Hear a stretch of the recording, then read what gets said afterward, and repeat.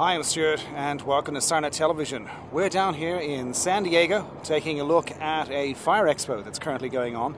Lots of interesting apparatus. Let's go right inside and check it out. Well, let's go inside the convention center. And one of the things you're going to be seeing in this quite long video is a close look at a variety of different fire apparatus.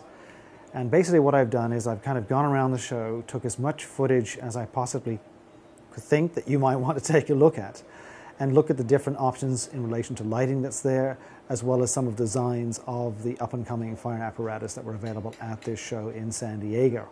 Compartment lighting is definitely something that we'll be taking a close look at. Of course, chevrons are very, very popular these days, been popular from Europe for years, as well as brush rigs. So there's a lot of brush rigs at this particular show. This is just an example of some of them. Again, you'll see more as we wander around the show. So, as I said before, get your popcorn out, put your feet up, relax, enjoy. Here we go.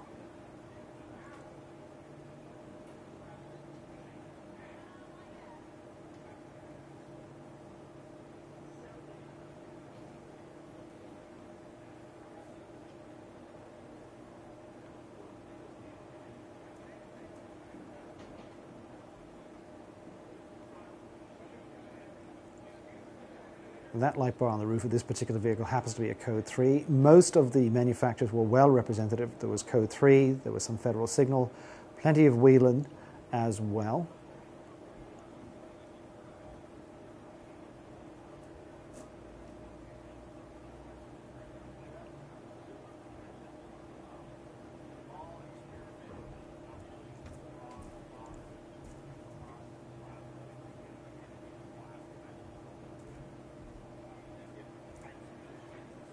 Scene lighting is becoming increasingly popular with fire apparatus, has of course been for years, but with the advent of LED scene lights, of which are available on SirenNet, you can go check those out on the website, you're going to see a lot of scene light options on a lot of these apparatus. Something a little bit unusual for the United States, a rear end pump panel. Again, gaining popularity to a degree depending on the application. This is a Power Arc product. We've seen that too before on some video that we've shot here at SirenNet Television.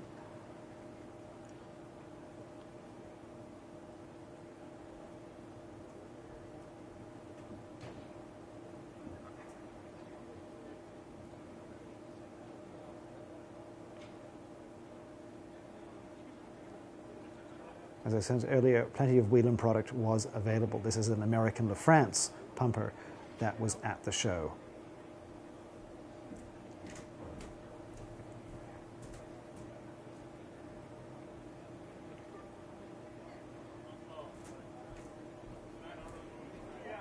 of course, fire trucks do come in different colors. We have red ones, white ones, and yellow. This happens to be one that has a Pioneer Plus in white mounted on the rear. This is a new product from Whelen Engineering.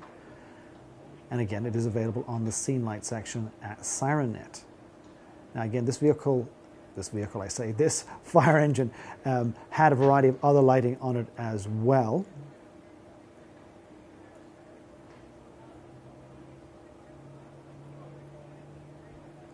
But definitely the Pioneer Plus was something new and innovative from this particular manufacturer.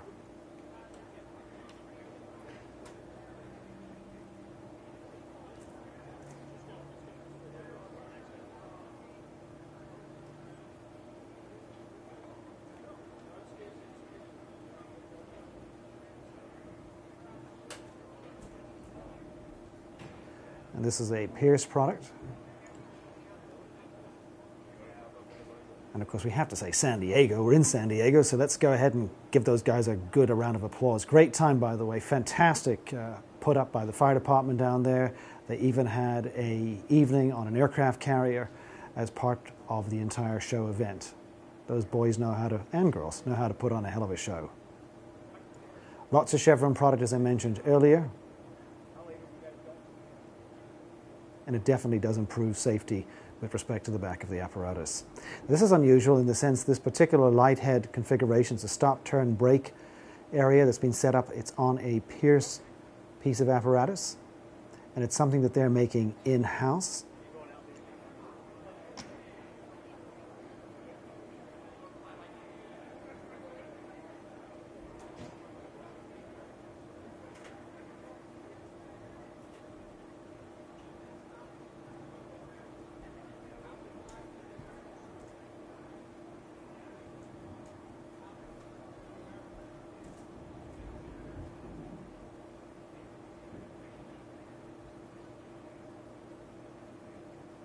And again, we have a pair of Pioneer Plus bow lights mounted with a flood and spot combo on this particular piece of apparatus, again in white.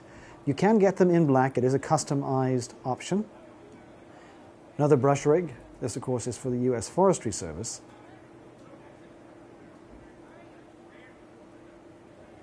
And again, discharge valves at the rear of this particular US Forest Service rig.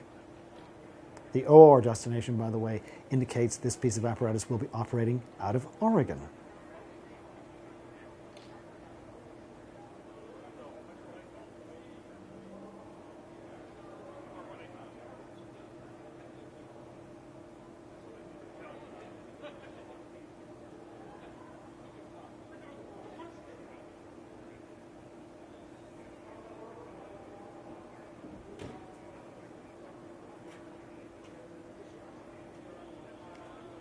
Scene lighting again, of course, this is a telescoping scene light made by SuperVac, which is a product that is also carried on SirenNet. So again, you can check out the website with respect to SuperVac product on SirenNet. And this happened to be on a Riverside piece of apparatus.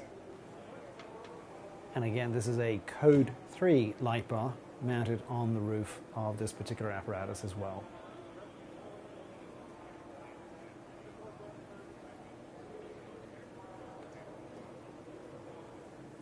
Now, one of the things about going to take a look at these shows, and we'll be doing more of them in the coming years, is really to allow you a chance to wander around the hall with me with respect to me holding the camera and you taking a look at what I'm shooting. The objective, again, is to just give you an idea of the type of product that is out in the marketplace in relation to lighting, as well as some new and innovative options that are coming from the different manufacturers. Recessed TAs are always popular with the fire service. They stay out of the way, they don't get damaged when hoses are being pulled out of the back of the rig.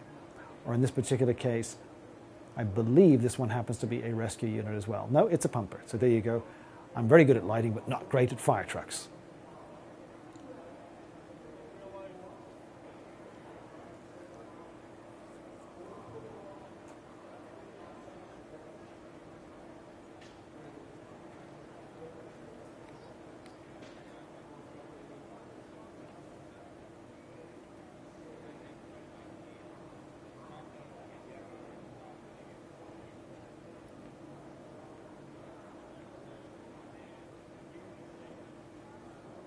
Some folks still want to have rotating light bars, and uh, Code 3 is willing to oblige. This actually happens to be an LED light bar in what is otherwise known as an MX7000 housing. And again, uh, you know, the, the, trend in the fire service is to have, in some cases, very low profile lights mounted on the rig, but in other cases, they actually like to have them with larger, bulkier lights to kind of add to the size of the unit in question.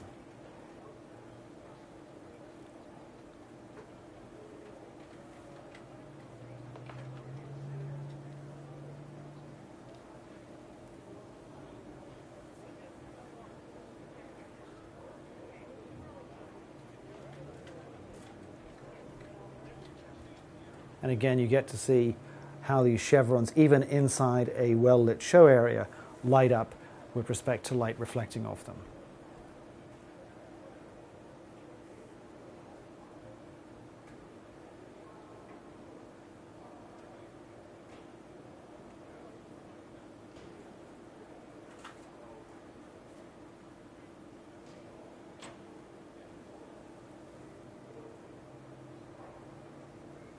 Now, this happens to be a Whelen Delta bar.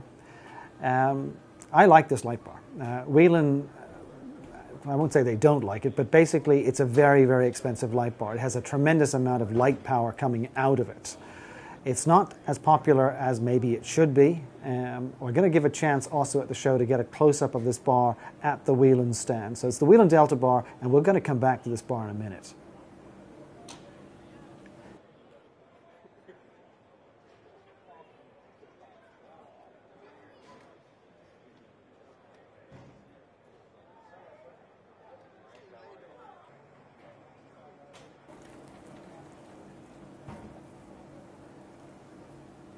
And as you can see by my camera angles, he really likes this bar.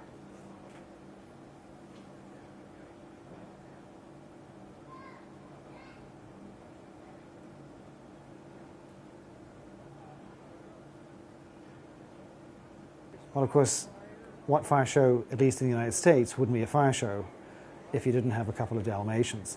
And this happens to be on a steam pumper dating back to the last century. Now, of course, it is San Diego, and surfing is definitely something that happens in that part of the world. And this is just an example of some of the product that was available at this particular show for people to take a look at. So, again, these are surfboards that will be used for rescue purposes. Whelen, of course, had a stand there along with some other manufacturers. And I'm going to endeavor to take a close look at that delta bar I was talking about. There it is, it's right there. And I'm going to uh, zoom in in a minute, just showing you, of course, this is a Pioneer light which has been mounted into a Freedom bar. It is a, an option that is available within the Freedom family. And there's the Delta bar. Now, the Delta bar is not in any Whelen price lists. It's not even in any some in most of the published catalogs either. I really do like the bar. I'm sure that Whelen's going to be a little bit peeved for me going on about this. This bar is underrated. It's definitely an outperformer, no question about it. But it is expensive to manufacture. And here you get to see it working. So for all you zoomers out there, I thought I'd just turn it on for kicks.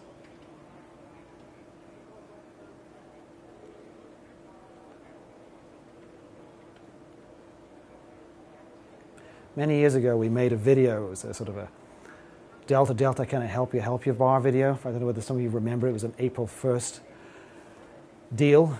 But again, this bar has a lot of potential, a massive amount of light, and normally it's a sort of something that gets put on a fire apparatus if it's specifically specified by the customer.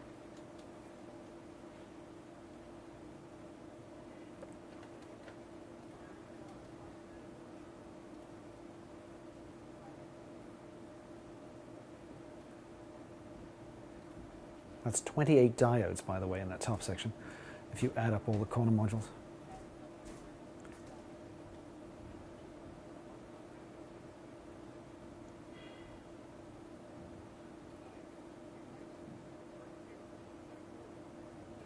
So there you have it. The Whelen Delta bar, not available, is available, could be available. Stay in touch. Well, there we are. One more brush rig to take a look at as we wind to the end of our trip here at this particular show. Well, there you have it. A close look at a variety of different fire apparatus at the fire show here in sunny San Diego. And for all of us here at SirenNet Television, many thanks for watching. We're back to sunny Oregon.